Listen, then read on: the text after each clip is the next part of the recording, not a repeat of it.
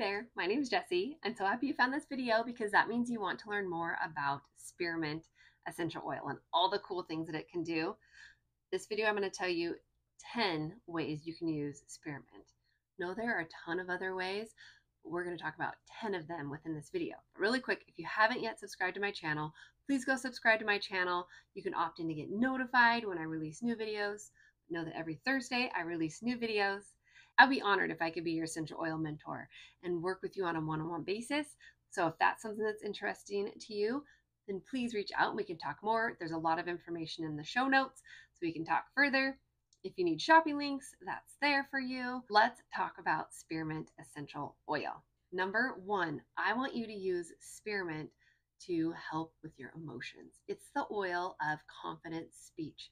So doing something as simple as breathing in that aroma of spearmint.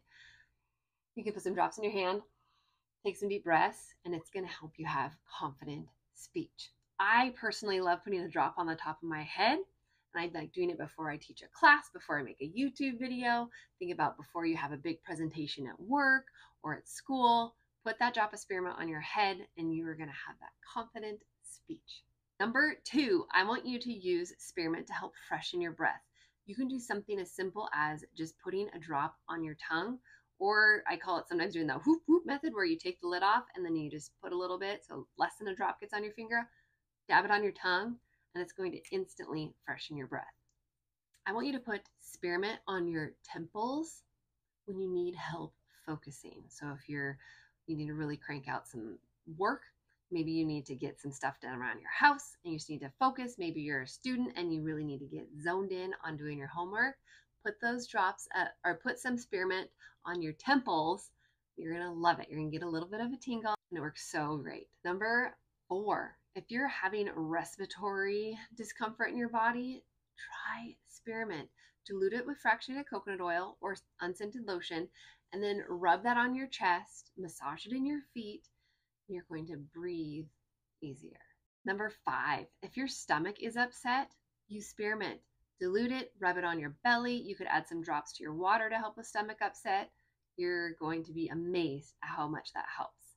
Number six, if you have a slower metabolism, try spearmint.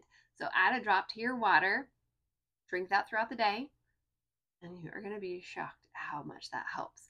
I have to put in there really quick. If you're adding essential oil to water to ingest, make sure you put it in that water in glass or stainless steel or ceramic. Don't put it in plastic. Okay. Number seven, if you are someone who is nursing a little human being, then you probably don't want to use peppermint topically on your body. And so this is me telling you you could sub in spearmint instead of that peppermint when you're nursing because peppermint could decrease your milk supply. If you were to sub in spearmint, you're not going to have that happen. Number eight, I want you to add a drop of spearmint to your toothbrush with your toothpaste, and you're going to have a minty, fresh experience that is just going to make your mouth explode with goodness.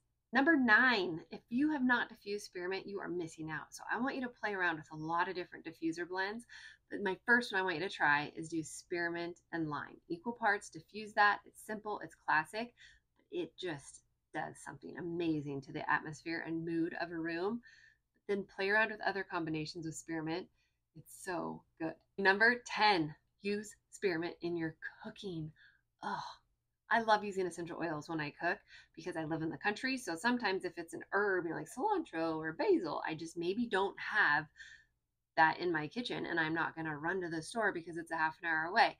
So then I'll look at my essential oils and I will do some I'll do some subbing that way and it works so well. The experiment brownies. Add a drop or two to any sort of dessert where a mint flavor would be appealing.